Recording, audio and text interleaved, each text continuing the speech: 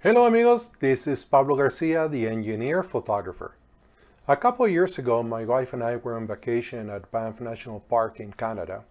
And one early morning, I went to this beautiful lake, Two Jack Lake, and I took this image. I really like the simplicity of the image, the big boulders here in the foreground, and the really nice reflection of the trees and the mountain in the lake.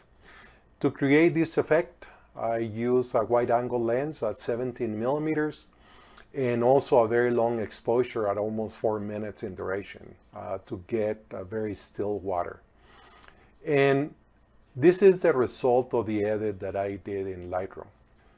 A couple months ago, I was playing with Nik Color Efex and I did another version of the image and I end up liking this version even more. I like the colors, the magenta the mountain, the deeper blues, and overall I was a lot happier. But there were a couple of things that were bothering me. One of them is that the trees are leaning out, and that's the result of not only using the wide angle lens, but also pointing the lens down on the boulders so that the boulders will look bigger on the image, but the end result is that the far objects like the trees are leaning to the outside. And I need to be able to correct that. And the other effect of the wide angle is that I remember the mountain being a lot bigger. You know, the problem with wide angle lenses is far objects are going to look smaller on the image. So those two things were bothering me. I thought I could fix this image in Lightroom, but unfortunately Lightroom doesn't give good results. If I use the guided transform, I'm going to click on guided. I'm going to draw a line here on this tree. I'm going to draw another line on another one of the trees here. You see, it corrects the image. The trees are now vertical but I end up with a lot of empty space and what I have to do is then crop the image to fit and I don't like this composition at all. Now the boulders are touching the edges of the image and that's not what I wanted at all. And that's when I remember a suggestion by my friend Jeff of a video by the Photoshop expert Sean Bagshaw in which he had used Photoshop Transform to correct for wide angle distortion.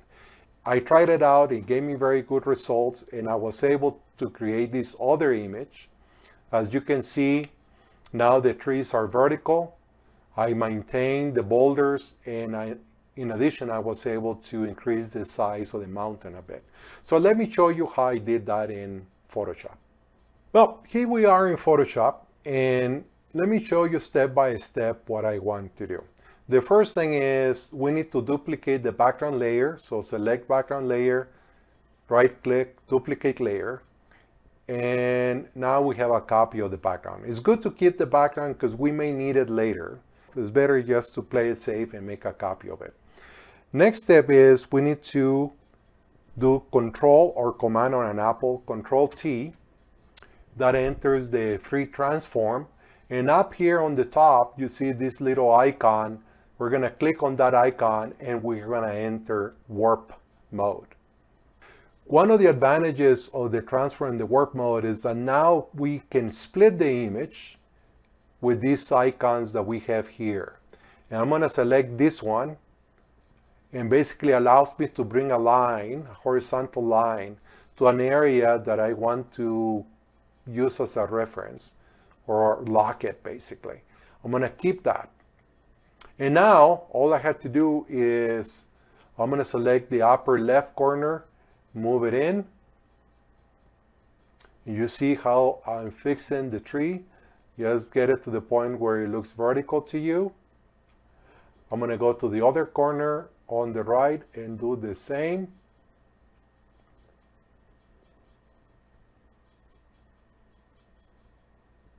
And now very easily we corrected the trees. And now we need to correct for the reflections. But if I move this bottom corner out, I end up affecting the boulders too. So I don't want to do that. I'm gonna undo. The nice thing about the free transform tool is I can create another line. So I'm gonna go back and bring another line and I'm gonna put it right here at the tip of the trees. And I'm gonna use now this point to stretch out. I do get some warping of the boulders and I'm gonna be keeping an eye on them. I still want them to look natural. But as you can see, the bottom boulders are almost not being affected. I'm gonna do the other side. Let's say that looks pretty even. Now, I told you I also wanted to extend the mountain. So I'm going to go to the top line and you can click and raise the top a bit. Not much, but raise the top a bit. And overall, this is looking very good. All I have to do now is click the check mark and basically agree to the changes and now it has been transformed. I'm going to turn off the background layer. And as you can see, this is the area that we pushed in. We had also pushed out a few areas here on the bottom. But this is the area that got pushed in. Now we had to fill it. And to do that, we're going to use content aware fill. But first we had to select it. So what we're going to do is do control and click on the layer. And now we have selected the pixels on the image. We want the inverse. We want to select the non-pixel areas.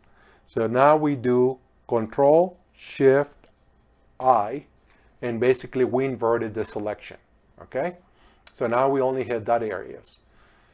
Next step is we want to grow the selection. For content aware fill to work the best, it needs to have a little bit of the image selected. So we go under select, modify, expand, and you can use a number anywhere between 5 and 10 pixels. Let's select 8 pixels. Select OK, and the selection grew a little bit into the image. Next step is Content Aware Fill. You go under Edit, Content Aware Fill, we're going to select automatic. We'll see what it does. And we can see what it did in these areas.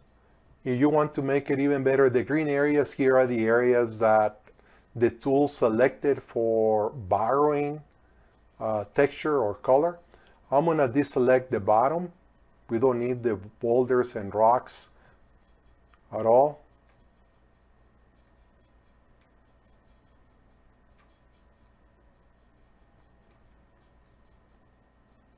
Is recalculating and I think in the, overall it did a very nice job. You can see it here. Now I'm going to select apply or OK and there it is.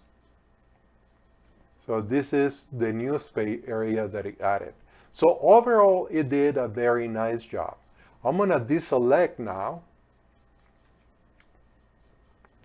You can inspect it did a good job in this area. And over here, you can see it didn't do as good as a job. So if I zoom in in that area, we can see that it didn't deal well with that piece of pine tree. We have a couple of options. One of them is we could use the clone stamp tool and maybe clone that out. And you get the idea. We can, you know, spend a little time and work to get a good result and a good blend. Okay, that's one option. Another option we can do is to do it all over again. So I'm gonna erase what we did. We're back here. I'm gonna select this area right here. So control click, control shift I, and now I'm going to grow the selection a little more. Select, modify, expand. I may go something like 30 pixels, you know, get it to get more into this area here. Select OK. And now we're going to do edit, content aware fill. It's calculating. I'm going to erase this area here.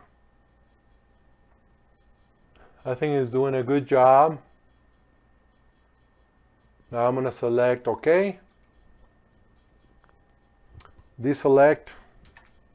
Well, it didn't necessarily do a much better job, but you know, I can go and like I told you before, I can go use the clone stamp tool and just clone this area out.